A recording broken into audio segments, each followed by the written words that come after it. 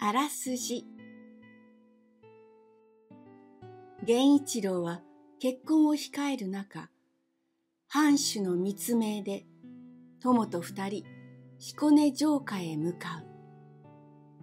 その途中現れた信氏に金品身ぐるみ置いていけと言われた源一郎は彼らの大義名分を聞き金は渡すが裸では御用が果たせないから、衣服は帰り道に渡す、と約束する。約束は約束だ。武士に二言はない、という言葉に相手は、待とう、というのだが。それでは、最後までごゆっくりどうぞ。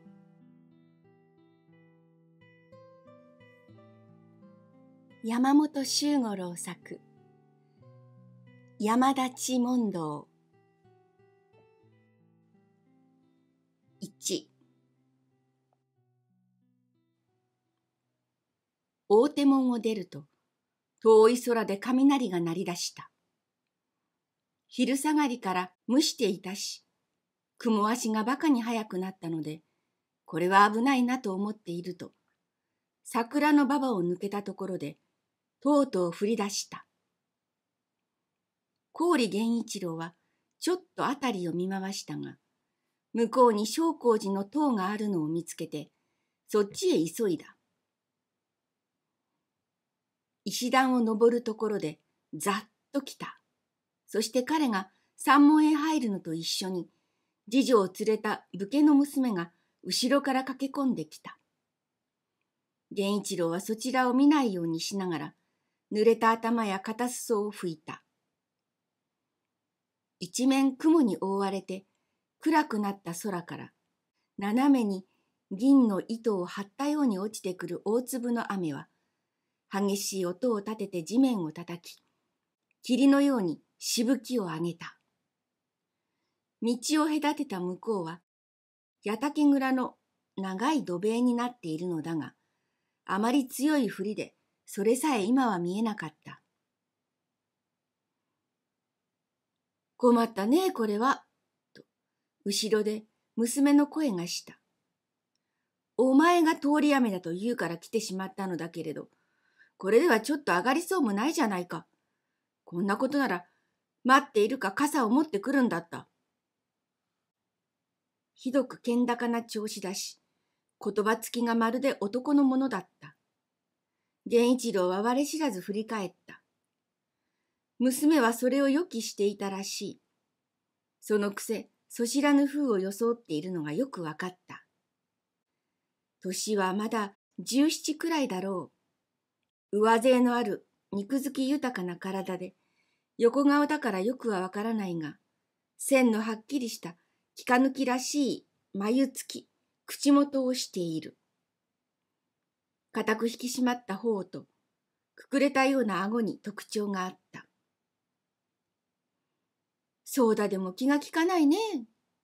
娘は源一郎を無視した態度で続けた。私が途中で振られているくらいわかるだろうに。雨具を持たせて横好きにもならないのかしら。こうしてぼんやり雨宿りをしているくらい馬鹿げた形はないよ。これは大変なものだと源一郎は驚いた。そうだといえばこの大垣藩の老職を務める戸田うねめの将を指す。戸田に三家あるので、そうだというところに屋敷のあるうねめの将をそういうのだが、そうだと呼び捨てにできるのは国家老だけのはずだ。たとえ公の席ではないにしても、そこに現在家中の侍がいるし、しかもまだ年若の少女の身で、平然とそう呼ぶのは並外れて聞こえる。一体誰の娘だろう？源一郎はもう一度そっちを見た。ひどいしぶきじゃないか。と、娘は片手で裾前をつまみながら言った。こうしていては雨をよけてもしぶきで濡れてしまう。お前、相談まで行って雨具を借りておいで。次女は、はい、と答えたが、土砂降りの空を見上げて、ちょっと足が出せない様子だった。娘は全く無関心に、何をしているの？と促す。次女は思い切ったように、両方の袖を頭の上へ重ねて飛び出そうとした。源一郎は見かねて、ちょっとお待ちと呼びかけ、着ていた羽織を脱いで、次女の手へ投げ与えた。それをかぶっておいで。いくらかしのぎにはなるだろう。いや、遠慮はいらない。持っておいで。では、と次女は何か言おうとしたが、殴りつけるような雨なので、軽く会釈をすると、そのまま羽織を頭からかぶって駆け出していった。娘は初めてこちらを見た。今度は源一郎が素早く顔を背けた。それでも何か言いかけそうな素振りだったので、彼はくるっときびすを返して、山門の裏側へ来た。意地を張るつもりではなく、話しかけられるのがうるさかったのである。するとその時、正光寺の栗の方から、寺の印のある傘を差した一人の若侍が出てきて、向こうから源一郎に声をかけた。それは、彼と同じ書院番を務める、矢内又作という同僚だった。雨宿りかね。こう激しくては、雨宿りも風流とは言えないな。又作はそう言いながら近寄ってきた。こいつはなかなかやみそうにもない。どうせ途中だから家まで送っていこう。入らないか。頼もうと言って源一郎は傘の中へ入った。山門を出ようとしたとき、又作はそこにいる娘を見つけた。そして大変びっくりした様子で抵当した。源一郎は見向きもしなかった。石段を降りて左へ、半丁余り来てからまた作は何か秘密なことでも告げるように、関西老人のお嬢さんだよ、と言った。関西老人とは、老職戸田内記のことで、その老人に小雪という図抜けて男勝りの娘があるということは、源一郎もいつか聞いた覚えがある。小立ち、刀、なぎなたなども達者だし、ことに馬には非常に堪能で、しばしば一人で遠く城下外まで乗り回すという評判が高かった。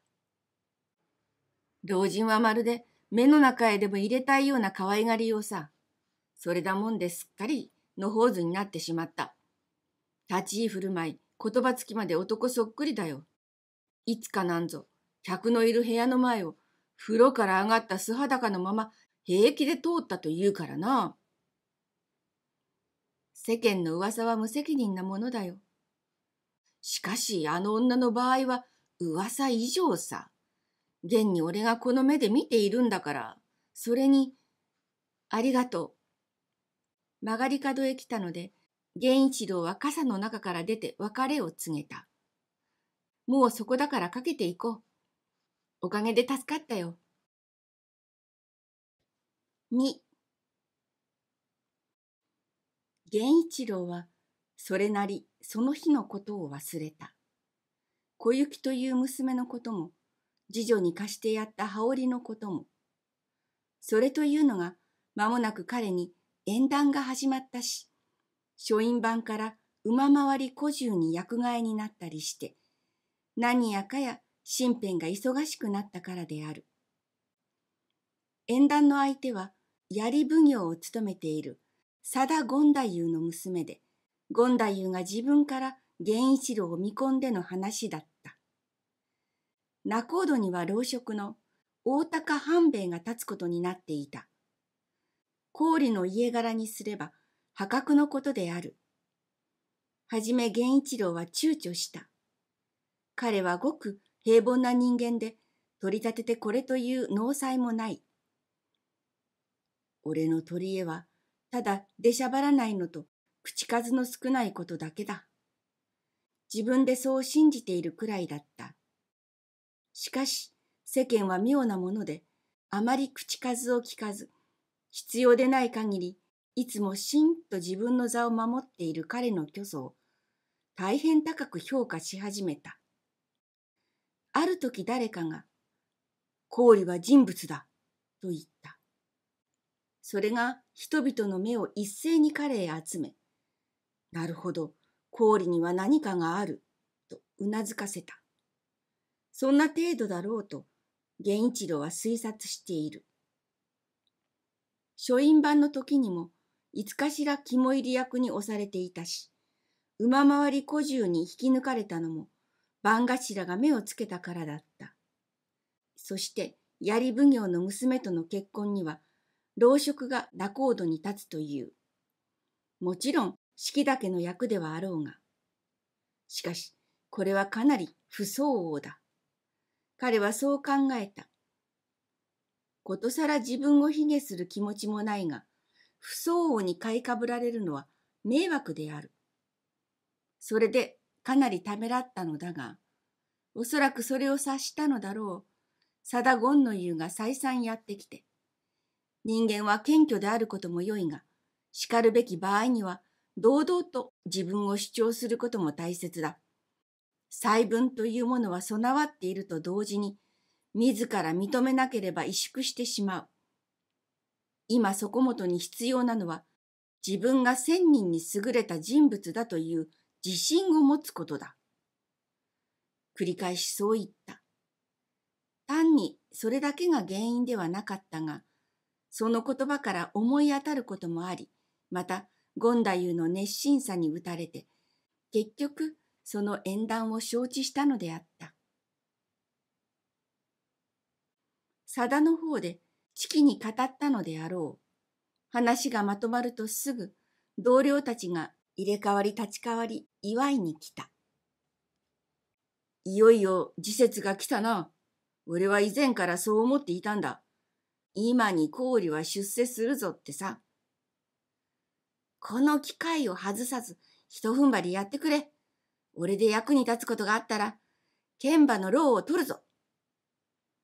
後ろに俺たち、昔の仲間が控えていることを忘れないように頼む。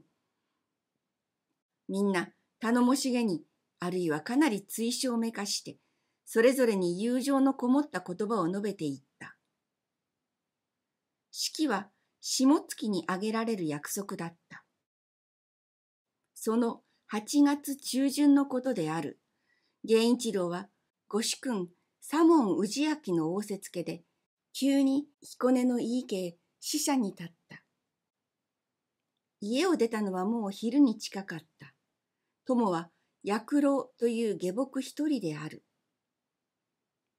秋とは言っても日中はまだ暑く、久しく雨がなかったので、乾ききった道からは歩くたびに埃が舞い立ち、それが流れもせずにそのまま元の地面に落ち着くほど風もなかった。たるいでちょっと休んだだけで、そのまま道を続けた。不破の関市のあたりで暮れかかったが、宿を取る様子がないので、友の薬老が注意した。そう、ちょうど宿合いになったな、と、源一郎はちょっと立ち止まった。昼は暑いし、山を越すには夜の方がいいだろう。今夜は月もいいだろうから。そしてまた歩き出した。大丈夫でしょうか？いぶき声には時々悪い狐が出るという噂でございますが。狐は困るなあ。しかし、御用も急ぐからな。山にかかると夜になった。幸い山あいに月が出たし、気温も心よく冷えてきたので、登りには楽だった。峠の道高みへ出たところで、岩清水を意にしてあるのを見つけ、そこへ腰を下ろして夜食の弁当を使った。月はすでに中天へ登っていた。どこか遠くで渓流の音が聞こえ、杉やヒノキや欅などのて々と生い茂っている森の奥で、何かに怯えたように、突然鳥たちの泣き叫ぶ声がしたりした。ゆっくり一休みしてから、二人はそこを立った。道はつづら折りになって、片側に森、右側に谷を見ながら、近江の国へ入った。ちょうど国境を越したあたりの山陰になったところで、突然二人の行く手へ四五人の男が現れて立ちふさがった。左側の草林の中から飛び出してきたのである。そこだけ月の光が赤々と差しているので、男たちの風体は鮮やかなほどよく見えた。みんな小具足をつけ、武者わらじを履き、いかめしい武器を手にしている。その一人の持っているすやりの穂先が月光を映してギラギラと光っていた。旦那、賊です、賊です、と、下僕の役郎は半ば悲鳴のように叫びながら、源一郎の背後へ身を隠した。源一郎は左手で刀のつば元をつかみ、眼前にいる男たちよりは、左側の草林の中と背後にある暗がりの方へ素早く目をやった。草林の中にも十四五人いるようだし、月光の届かない背後の暗がりにも十人以上の人数が見える。源一郎はつば元をつかんでいた手を離した。なんだ？貴公たちはなんだ？見る通りさ。と、源一郎の問いに対して、一人のず抜けた巨漢が答えた。それとも、かごかきまごとでも思うかね？こちらは別に孫ともかごかきとも思わないが、それで何か用があるのか？大した用ではない。金品はもちろん、身ぐるみ脱いでいってもらいたいのだ。その巨漢はひどく落ち着いた声で言った。しかし、断っておくが、我らは野党でも山賊でもない。みんな思想高潔な武士だ。思想高潔なるがゆえに、汚らわしい世間と交わることを欲せず、同志愛求めて山中に隠れ、正常なる自然の中で心身を鍛錬しているのだ。伊吹山はすなわち我らが上地。この峠は我らの関所だ。侍にしてこの席を通る者は、と、巨漢の脇にいた一人が、大地に槍を突き立てながらわめいた。たとえ大名諸侯、将軍たりとも、我らにこうしなければならぬ。正常の地を、お宅の足で踏む代価だ。所持の金品は言うまでもない。大小、衣服残らず置いてゆけ。不承知なら、どんには及ばぬ。一戦だ。やるか？と叫びながら、草林の中から背後の暗がりから合わせておよそ30人ばかりの人数がバラバラと前後へと詰めた。源一郎は動かなかった。目の前にいる巨漢の顔を見つめながら、黙って彼らの言うことを聞いていた。恐ろしく時代な、芝居めかした言葉つきだなと思った。もっとも芝居めかすからいいので、これが日常普通の挨拶でやったら、かえって妙なものかもしれない、などとも思った。そして族どもがぐるっと前後を取り囲んだとき、彼は静かに巨漢に向かっていった。話はよくわかった。貴公たちの申し分はよくわかった。それが掟というなら、身ぐるみ脱いで行きたいが、自分はご主君の御用で彦根まで参る途中だ。ここで裸になっては御用を果たすことができない。人にはそれぞれ用のあるものだ。これはそんな神釈をする席ではないぞ。そこで相談をしたいのだ。源一郎は懐から金袋を取り出し、巨漢の手に渡しながら言った。この中に二十金ほど入っている。まずそれを渡すから、衣服大小は見逃してもらいたい。もし見逃すことがならぬというのなら、彦根から帰るまで自分に貸してもらえまいか。貸してほしい。それはどういうわけだ。御用を果たせばすぐにこの道を帰ってくる。遅くも明後日の夜には戻ってくる。その時、衣服大将を渡すと約束しよう。バカなことを言うやつだ。槍を持った男がわっはっはと交渉した。そんなたわごとを真に受けて、おお、そうかと、貴様の帰りを待っていられるか。そんな子供騙しに乗る我らではないぞ。子供騙しかどうか自分は知らない。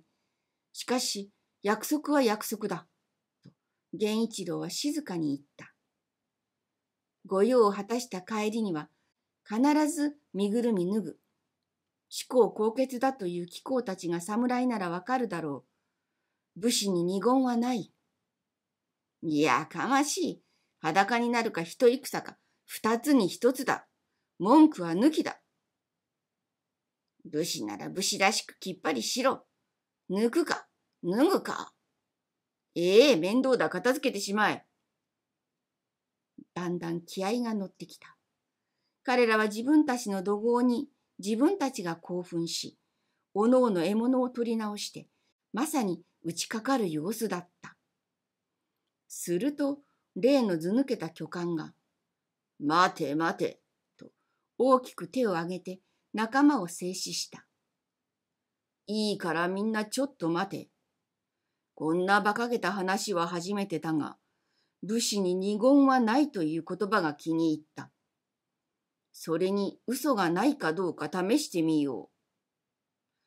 それでは承知してくれるか待とう。ただし断っておくが、約束を破ったり、変な真似をしたりすると、この始終を天下に触れて笑い物にするぞ。念の言ったことだ。源一郎は微笑しながらうなずいた。では、借りて参る。そして主従はそこを通り抜けた。峠を越えて下りにかかると、月光の下に酒田郷の山々の美しい起伏が展開し、道の左右にもちらほら人家が見え出した。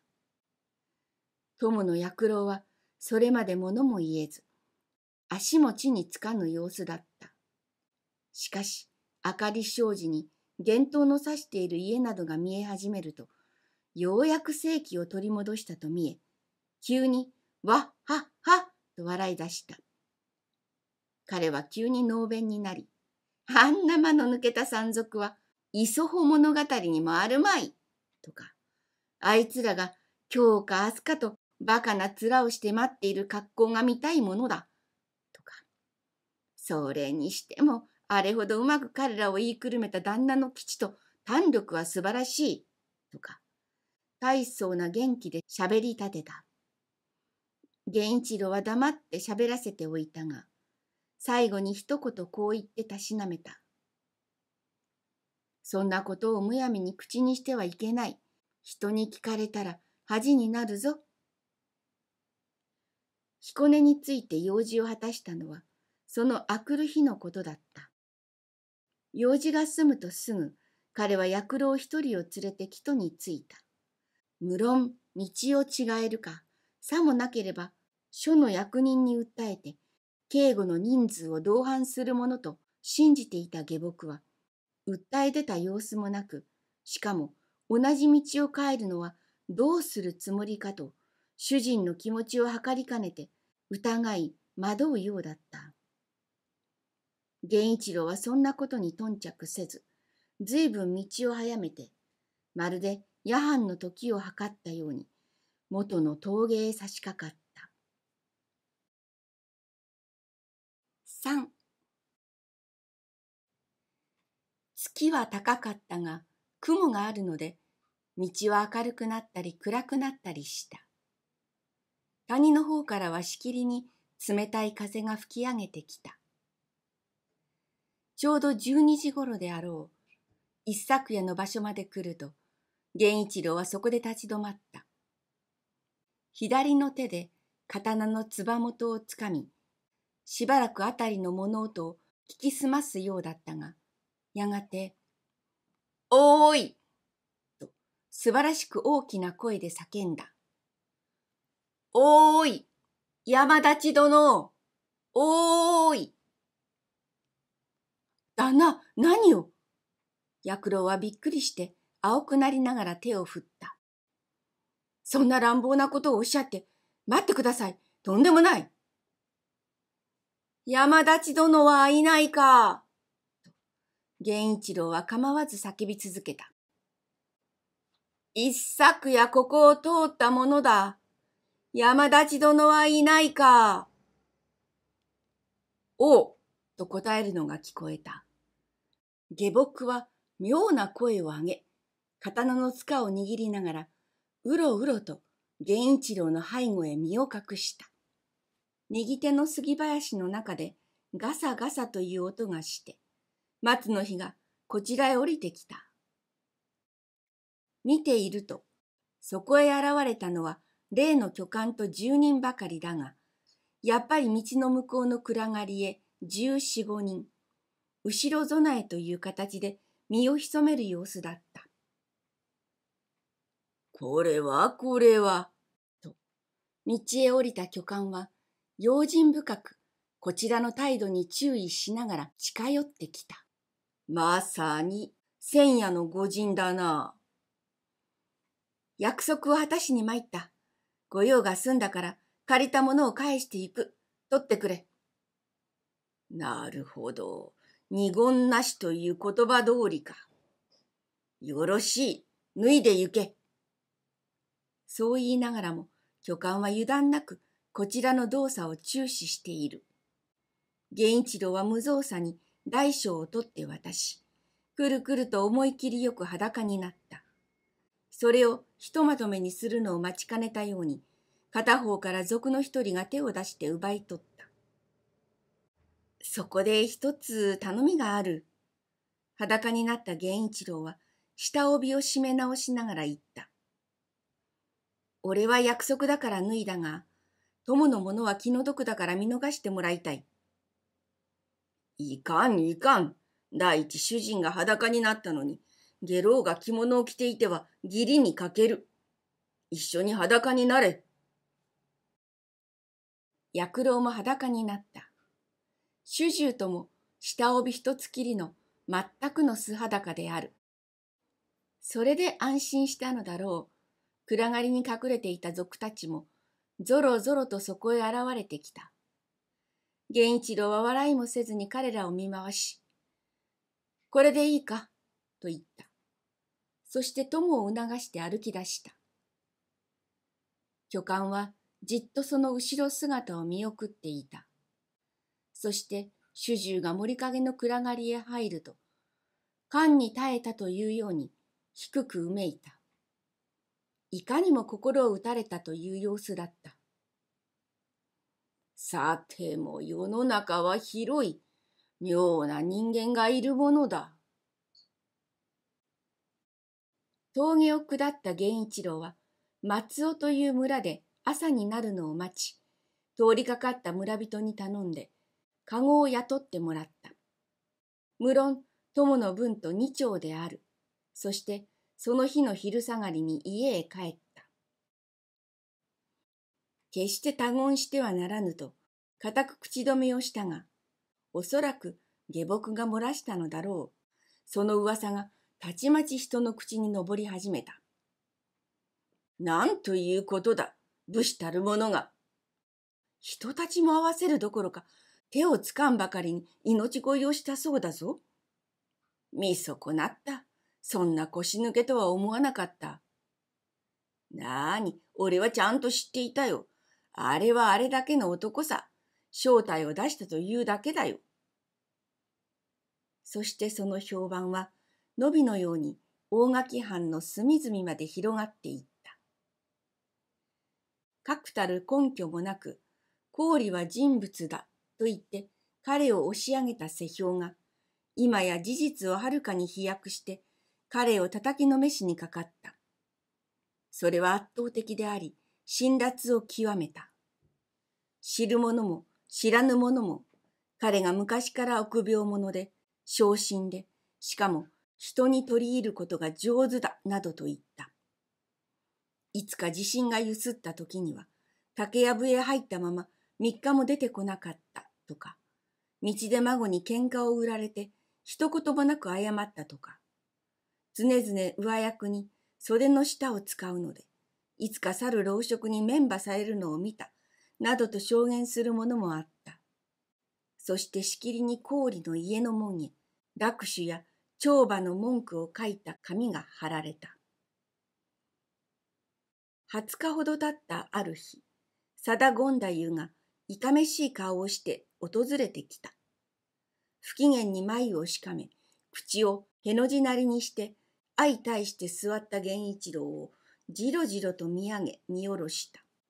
世間の噂があまりひどいので確かめに来た。伊吹山で山賊に会い、手をつかねて身ぐるみ剥がれたというのは事実か。おそらく嘘であろうが、どうだ嘘ではございません。ほとんど事実です。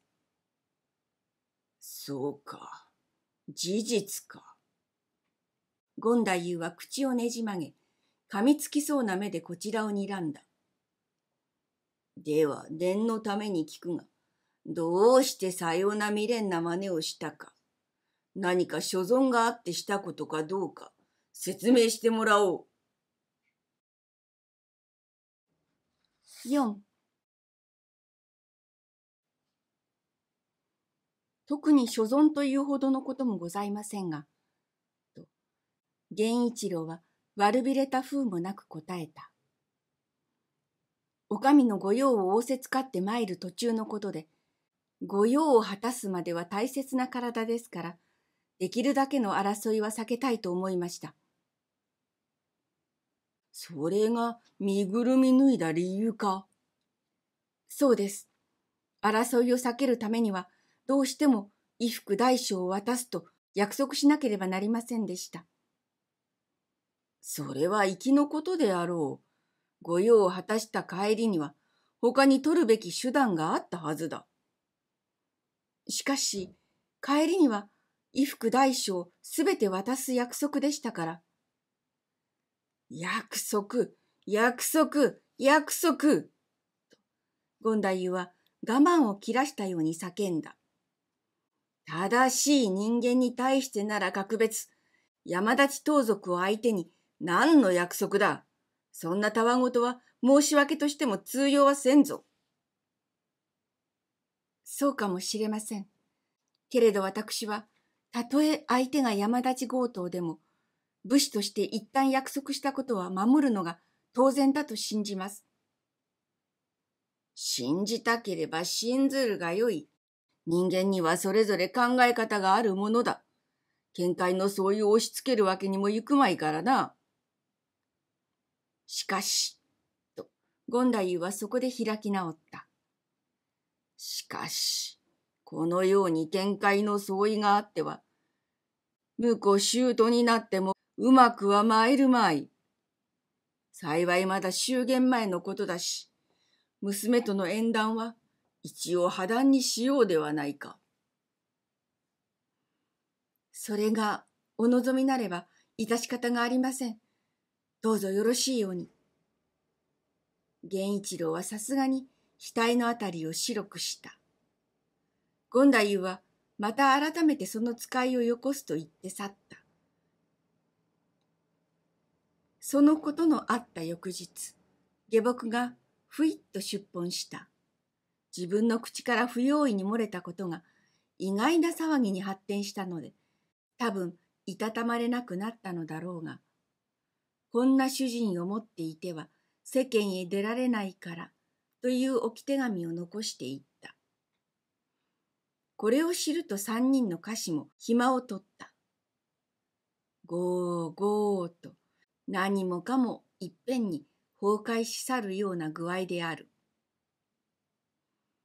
後には古くからいる老年の歌妃と源一郎の二人だけになった。出たいものは出ていくがようございます。歌妃は老年の落ち着いた態度で若い主人を慰めるように言った。世間の評判を気に病んで、主人を袖にするような人間は、どこへ行っても目の出るわけはございません。旦那様も気になされますな。たかが七十五日のご辛抱でございますよ。いい時はよく、悪い時は悪いものさ。と、源一郎も苦笑するだけだった。どっちにしても大したことはないよ。そんなことを話し合っていたあるよ。栗屋に女の訪れる声がした。浪費が出て行ったが、不審そうな顔をして戻り、若いお女中が旦那様にお目にかかりたいと申しますが、と伝えた。お目にかかってお返しする品があるとか申しております。いいえ、私もまるで知らないお女中でございます。なんだろう。とにかく会ってみようか。浪費に案内されて入ってきたのは、武家に仕える次女という成り形で、およそ十七八になる大柄な娘だった。つつましく会釈をして座るのを見たとき、源一郎はどこか見覚えのある顔だなと思った。もうお忘れかと存じますが、と娘は目を伏せたまま言った。私、夏と申しますが、今年の春の終わり頃、正光寺の山門で雨宿りをいたしましたとき、お羽織を貸していただいたものでございます。ああ、思い出した。やっぱり見覚えがあったはずだと、源一郎は我知らず声を上げた。そんなことがあった。すっかり忘れていたが、ひどい夕立の時だったな。さようでございます。あの時、お羽織を拝借いたしまして、戻ってまいりましたら、あなた様はもう追い出遊ばさず、おところもお名前も存じ上げませんので、お大切な品を今日までお返し申すこともかなわず、誠に申し訳ございませんでした。そんなことは構わないでよかったのに。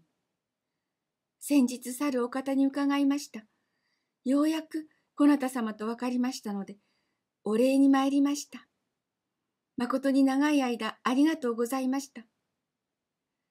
どうぞお納めくださいと言って、包みにした羽織を浪費の方へ差し出した。つまらぬ品をわざわざ帰って迷惑だったろう。源一郎は何やら明るい気持ちを感じながらそう言った。何もないが、あちらで茶でも飲んでゆくがいい。金、もてなしてやれ。はい、と言って浪費もいそいそと娘を促して立った。源一郎は久方ぶりに胸のすがすがしくなるような楽しく明るい気持ちを感じた。あの激しい土砂降りの日から百四五十日も経っている。こちらがすっかり忘れていたのに、向こうではその間探し求めていた。その気持ちが言いようもなく嬉しかったのである。ことに世間の軽薄な評判に叩きのめされていた時なので、感じ方も一層強かったのだろう。彼は自然と眉が開くように思い、やっぱり世の中に絶望することはないな、とつぶやいた。半時も経ったであろうか、浪費の金が何か浮かぬ顔つきで入ってきた。あの娘を使ってやっていただけませんでしょうか？と、金は主人の気を兼ねるように言った。できたらぜひ、私からもお願い申したいのでございますが。5しかし、あれは戸田老職の家に仕えているはずではないのか？それがお暇になったのだそうでございます。お羽織を拝借しましたとき、おところも名も伺わなかったのが、戸田様のお嬢様のご機嫌を損じ、そのように作法を知らぬ者は使ってはおけぬと、間もなくお暇が出たのだと申します。それは気の毒だな。あの豪雨の中では、ところも名も聞く暇はない。悪いのは先に立ち去ったこちらで、次女の落ち度ではなかった。もしそれが原因で戸田家を追われたとすれば、その責任の幾分かは自分にもあるはずだ。いいだろう。お前が置いて差し支えないと思ったら、使ってやるがいい。それはありがとうございます。さぞ、娘も喜ぶことでございましょう。だが、念のために、身元などはよく確かめないといけないな。すべてお前に任せるから頼むぞ。浪費は自分のことのように喜んで立っていった。悪評の嵐はなおやまなかったが、こちらがまるで平然としているため、さすがに張り合いがないのだろう。あまり手厳しいことは少なくなっていった。そして、氷の家の日常は、まるでそういうものの影響の外にあるかのごとく、少しの変化もなく、静かに明け暮れしていた。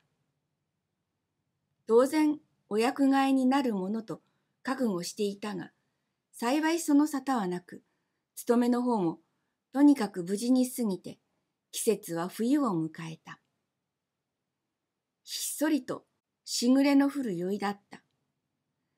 茶を運んできた次女の夏が、火を見ましょう、と言って日よけを引き寄せ、何やらしにくそうに炭を継ぎ足しにかかった。源一郎は何気なく夏の顔を見た。こちらへ横顔を向けている。その眉元、口元が、ふと源一郎の胸をドキッとさせた。彼は自分の目を信じかねるように、改めて夏の顔形、体つきをじっと見直した。彼の目は鋭く光り、唇はぎゅっと引き締まった。その注視の激しさに気づいて、夏がちらとこっちを見上げた。源一郎はその目をひたと見つめてから、気丈に開いてある書物の方へ向き直った。あくる朝のことだった。非番にあたるので、ゆっくり朝食を済ませた源一郎が、雨上がりの暖かい日の差す縁側に出て庭を見ていると、向こうの物置の影にある菜園で、夏が桑を持ってしきりに畝の土を和らげていた。彼もそれで土を打ったことがあるが、波よりは大きくてかなり重い桑である。夏はそれをいかにも軽々と使っていた。腰の据えようも足の踏み方も正しい。サクッ、サクッと、すき返す手振りの確かさは、むしろ楽しげにさえ見えた。源一郎は庭へ降り、気づかれぬように、物置の脇へ近寄っていったが、やがてそこから出て、夏の前へぐいっと出た。なぎなたもくわも、扱う心得は、つまり一つか。まあ。夏は不意をつかれて大きく目を見張った。びっくりいたしました。まあ、桑を置かないか、少し話がある。源一郎はじっと夏の目を見守った。お前はこの家へ来る前に俺の評判を聞いていたはずだ。そうではないか。はい。夏は眩しそうに目を伏せながらうなずいた。源一郎は続けた。山立ちにあって人たちも合わせず、身ぐるみ脱いで命乞いをした臆病者。昇進で人に取り入ることが巧みで、上役に袖の下を使うことが上手で。おやめくださいまし。夏がたまりかねたように叫んだ。どうぞそんなことは、どうぞお願いでございます。だが世間では皆そう言っている。そしてお前もそれは知っているはずだ。それなのにどうしてこの家へ住み込む気になったのか。いや、ごまかさないで正直なことを聞きたい。なぜだ？私、戸田様をお暇になりましてから。夏は喉に使えるような声でどもりどもり言った。他に心当てもなし、お羽織をお借り申した縁で、もしや使っていただけたらと存じたものですから。私は正直なことが聞きたいのだ、小雪殿。源一郎は冷ややかに言った。どうして郡源一郎の家へ来る気になったのか。なぜ次女だなどと偽らなければならなかったのか。それをはっきり聞かせていただきたいのだ。娘は深く神戸を垂れた。答えてはもらえませんか。ややしばらく待ってから源一郎はそう促した。お答え申します。娘はようやく心を決めたように静かにその目を上げていった。その前に一言お伺い申します。郡様は私について世間にどんな噂があるかお聞きではございませんでしょうか。聞いたと言えるほどは聞いていません。並外れた男勝り、気が荒くてわがままで、馬を乗り回し、言葉も動作も男そっくりだし、客のいる部屋の前を湯上がりの裸で通る。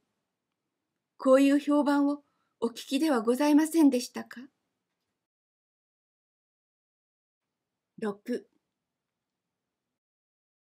噂のことは言いますまい。源一郎は無遠慮に娘を見た。しかし、私は正光寺であなたに会った。あなたの言葉を聞き、あなたの態度を見た。そしてあれが身分正しい大家の即女の作法とは思えなかったということを告白します。そう言ってくださる方があったら、もし五年前にそう言ってくださる方があったら、と小雪は訴えるような調子で言った。そうしたら小雪は違った育ちをしたと存じます。私は負け嫌いの生まれつきでした。わがままでもございました。けれども、それを好んでいたわけではございません。自分では恥じて、ため直そうと努めました。随分そう努めたのですけれど、周りの見る目は、もうそれを許しませんでした。小雪は、並外れていなくてはならないのです。娘らしく振る舞ったり、優雅であってはいけないのです。馬を乗り回したり、子立ちを使ったり、男のような口を聞かなければならないのです。不幸なことには、父親さえも、それが小雪の本心だと信じていることでした。美しい衣装を着たい年頃、お化粧をしたり、髪飾りをすることが何より楽しい年頃の娘に、そうするのが嬉しいことだとお考えになれましょうか？彼女は強く源一郎の目を見上げた。そんなに並外れた娘である方が良いなら、そうなってみせましょう。負け嫌いの性分がそう決心させました。その結果、小雪がどんなものになったかは、正光寺の山門で、郡様もご覧の通りです。でもあの時、郡様が次女にお羽織をお投げになったあの時、私は背から水を浴びたように立然といたしました。自分の荒々しい振る舞いと、郡様の優しい思いやりとが、あまりにはっきり対象されたからです。あなたが八内様とご一緒に先へおいでになった後、私は山門の陰に隠れて、次女の戻ってくるまで泣いておりました。小雪は八内又作から彼の名を聞いたと言った。彼に会って礼もいい、自分の苦しい気持ちを打ち明けたいという激しい欲望を感じて、その機会の来るのを待っていたと言った。しかし、その機会もなく、決心もつかないうちに、時日が経って、山立ち騒ぎが起こった。そして、たちまち源一郎に対する悪評が彼女の耳にも伝わった。それは、それまで彼女が聞いていた源一郎表とは似ても似つかず、およそ無責任な悪意に満ちたものだった。小雪はここでも世評が人を殺そうとしていると思い、どうか源一郎だけはそんな世評に負けないでほしい。小雪のように自分を失わないでくれるように、本当に心から祈ったと言った。だが、悪評はなかなかやまず、縁談は破れるし、歌詞、下郎までが背き去ったと聞いた。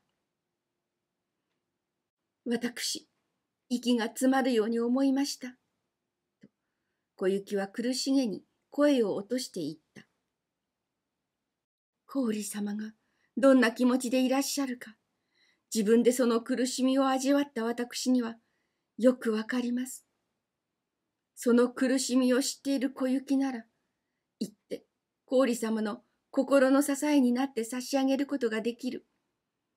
そう考えましたとき、佐田権太夫様が見えて、あなたとの問答を父に話すのを伺いました。武士の約束に相手の差別はない。たとえ山立ちの強盗なりとも約束した以上、その約束を守るのが武士の義理だ。そうおっしゃったと伺って、心が決まりました。このように、お立派な方を無責任な悪評で殺してしまってはならない。おそばへ上がって心の支えになって差し上げなければ。そして私、父に願いました。次女だと偽ったのは素性を隠すという父との約束ですけれど、そうしなければおそばへ上がることができなかったからでございます。源一郎には彼女がどのようにして父親を説き伏せたか見えるようだった。そしてそういう決心をさせた原因は源一郎に対する同情もあろうが根本的には自分が救われたかったのだ。世評のために並外れたものになってしまった自分を同じ境遇にある源一郎のもとで彼と一緒に生き直したかったのだ。それはこの家へ来てから百日余りの生活でよくわかる。柔らかいしとやかな立ち居、つつましい言葉つきや表情、次女ということが不自然でない控えめな静かな態度。小雪は源一郎の心の支えになろうと思いながら、実はこうして自分が娘らしく生き始めたのである。しかもそれがどんなに彼女に似つかわしかったことだろう。よくわかりました。源一郎はやがてそううなずいた。そこまで案じていただいたことはかたじけないと思います。しかし、あなたが老職のご息女と分かった以上は、このままここにいていただくわけには参らない。お待ちくださいまし。いや、いけません。どんな事情があるにせよ、このままいていただくことは、そう言いかけて、源一郎は振り返った。誰か門を開けて飛び込んできたものがある。交流寺交流寺はいないかと叫びながら、すぐにこっちへ走ってきた。矢内又作であった。ここにいる。源一郎は出て行った。大変なことが持ち上がったぞ。又作は駆け寄りながら片手を振った。槍、なぎなた、鉄砲などを持った十四五人の信士どもが城下へ踏み込んできた。今、大手先で勝ち組の者が取り沈めようとしているが、火縄のついた鉄砲を振り回していて近寄れない。何しろ大手先のことで大変な騒ぎになっているぞ。七そこまで聞くと源一郎は足早に家の中へ入って行き、すぐに身支度をして出てきた。また策はあっけに取られた。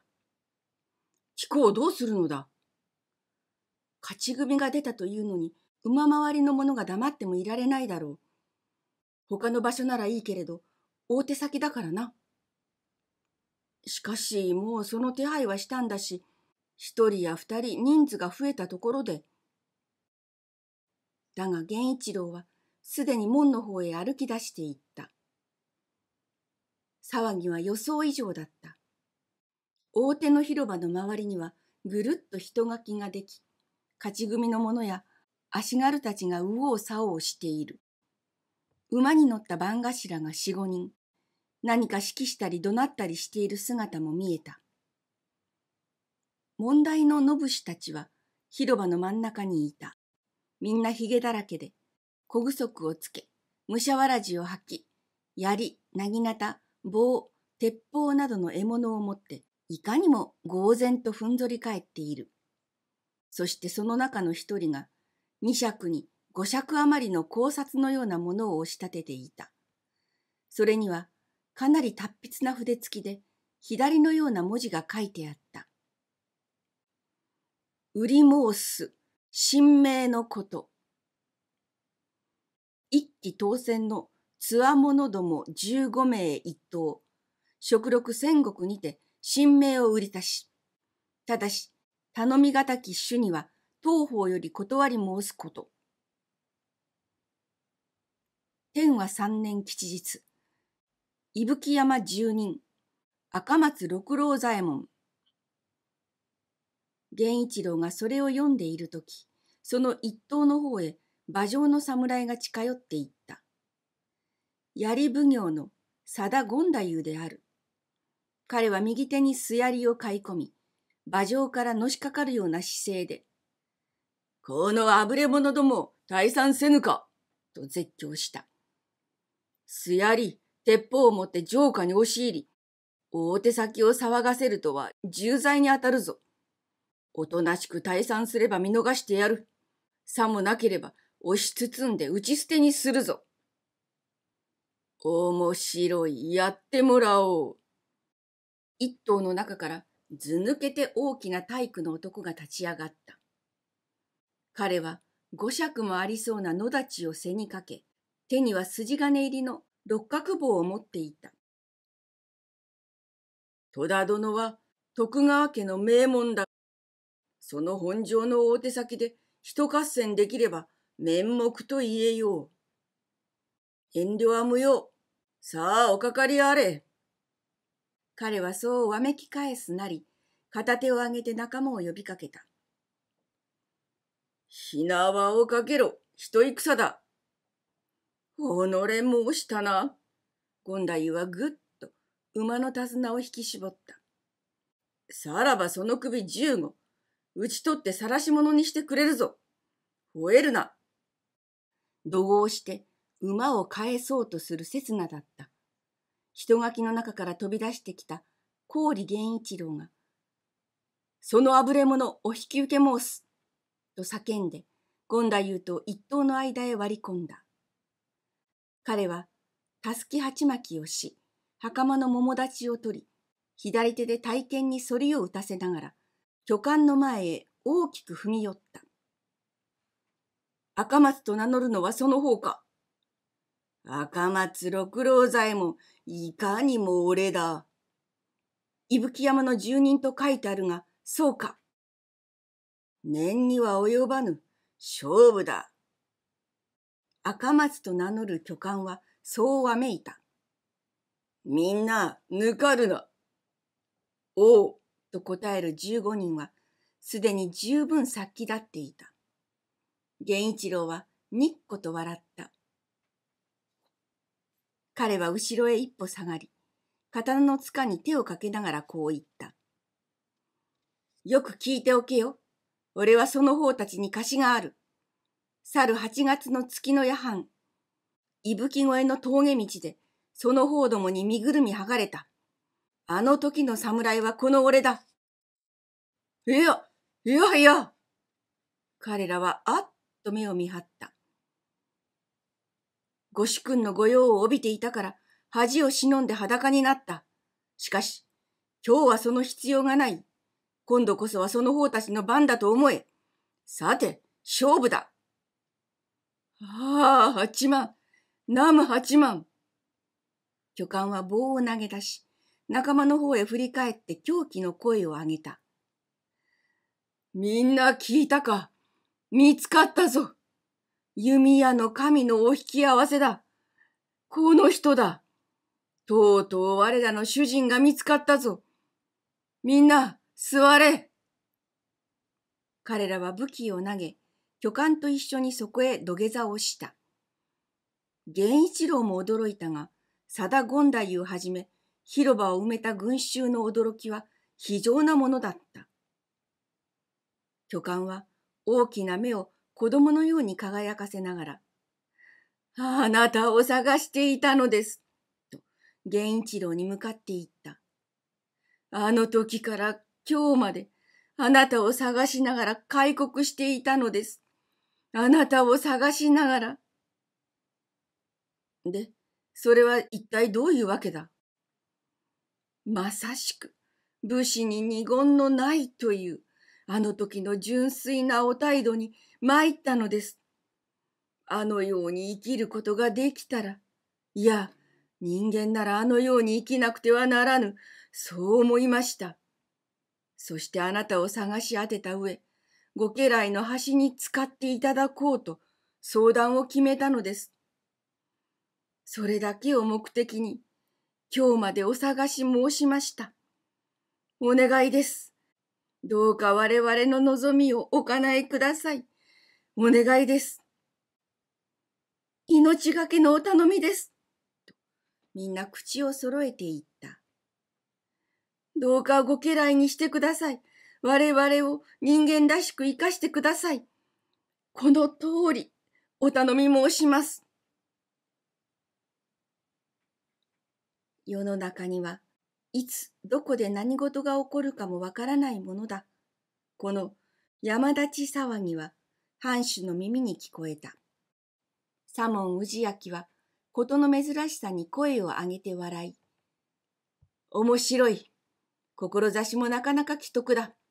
その者たちを源一郎の歌詞にしてやれ。淵は身から使わそう。と言い出した。こうして源一郎は淵付きで山立ち上がりの歌詞を15人持つことになったのである。その後、騒ぎが静まった時、佐田権太夫が氷の家を訪れた。老人はかなり具合の悪そうな顔つきで、座ってからもしばらく咳をしたり、膝を撫でたりしていたが、やがて、実は先頃の縁談のことだが、と口を切った。まことに申しにくいのだが、あの縁談を早くしたのはわしの粗骨で。ちょっとお待ちください。源一郎は相手の言葉を遮った。お話を伺う前にお引き合わせ申したいものがございますから。そして、小雪、参れ。と呼んだ。すぐに襖を開けて小雪が来た。源一郎はその座るのを待って権太夫にこう言った。私の妻、小雪でございます。